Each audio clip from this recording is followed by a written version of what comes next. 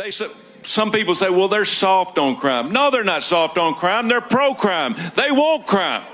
They want crime because they want to take over what you got. They want to control what you have. They want reparation because they think the people that do the crime are owed that.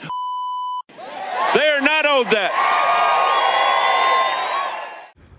Peace to the family. It is I, it is me, Brother DSP, your friendly neighborhood media personality and you're now tapped into another installment of Onslaught Multimedia. Please be sure to hit that like button, leave a comment, subscribe to the channel, click the notification bell, then select all to get every single notification. Truly appreciate y'all.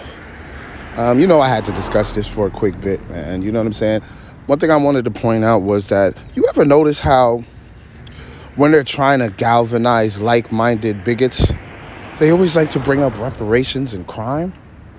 and how they like to try and correlate the two. They always do this.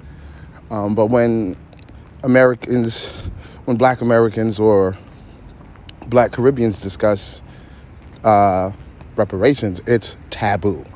Like you'll even, we'll even get backlash from our own people. Oh, what are you talking about reparations for? Da-da-da. I'm like, whoa. What, what do you mean, what are we talking about? This is, you know, a lot of y'all supposed to be political pundits. This is a very political move. You know what I mean?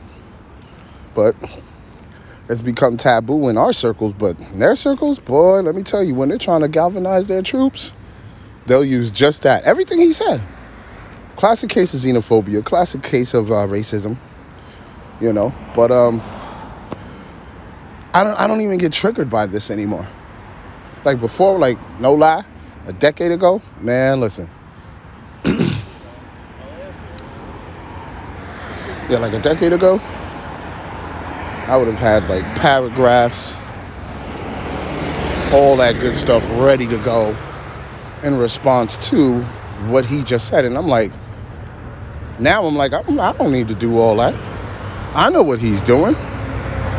I see what, what, what he's trying to do. And now, say for instance, someone does respond. Say someone with the platform as big as his or bigger than his response. You know what his response would be to the response? You know what his response would be to the response? Well, I didn't say anything derogatory. I was just telling the truth. Meanwhile, he was speculating, saying that they were pro crime and this and that. It's, it's just a nasty conversation altogether. But I wanted to point out the fact how they like to use reparations against us. That's what I wanted to show y'all. But um, I'm getting out of here. Y'all hit the like button, leave a comment, subscribe to the channel, click the notification bell, then select all to get every single notification. I truly appreciate you. I'm DSP. This is Onslaught Multimedia. Y'all be safe.